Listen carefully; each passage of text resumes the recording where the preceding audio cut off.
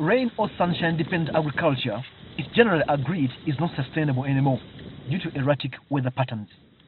One of the steps government has taken to cushion farmers is agricultural insurance, which has a 5 billion subsidy allocated to it this financial year. It's about 11 insurance companies formed a consortium under the framework of the Uganda Insurance Association. And through that uh, framework, insurance companies are reaching out to farmers to sell policies for agriculture insurance.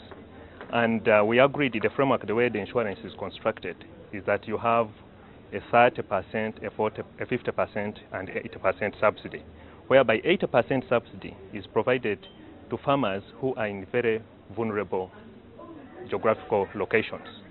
Uh, uh, uh, geographical locations which are vulnerable to adverse vagaries of nature. For example, the Bududas, Kasese, and all that. Then those who are less endangered receive 50% subsidy and the rest will get 30%. It's designed to compensate against drought and flooding. Once the insurance company uh, engages the farmer and the farmer agrees to taking an insurance a policy on an insurance product, then the insurance company submits a claim, okay, through Uganda Insurance Association and the regulator, Insurance Regulatory Authority.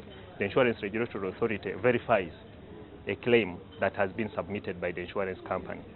And once it is found to be uh, proper, then uh, the regulator advises the central bank where the money, the account is, to disburse the reimbursement to the insurance company. The way it works actually, government reimburses the insurance company the amount of the subsidy. In a meeting to examine progress of this initiative, which is in its inception, players from financial institutions raised concerns of the existence of a framework and law to enable agricultural insurance. So from an institutional point of view, me, I think the first step that we need to do is to have a law that backs agricultural insurance in the country.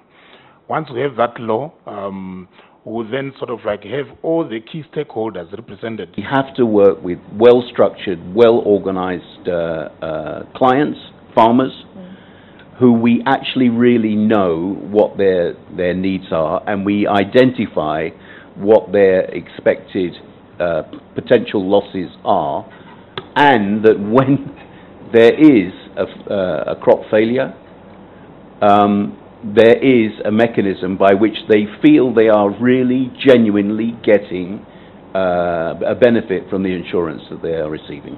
But we need to provide these farmers with information. We need to educate them.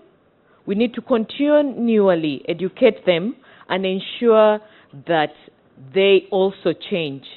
That ties in with encouraging uh, farmers to practice good agricultural practices. Certainly, much work needs to be done. And while government pledges commitment to agricultural insurance on one hand, it's evidently a different ball game, getting it from looking like a political move to having real impact in the life of the mostly smallholder farmers.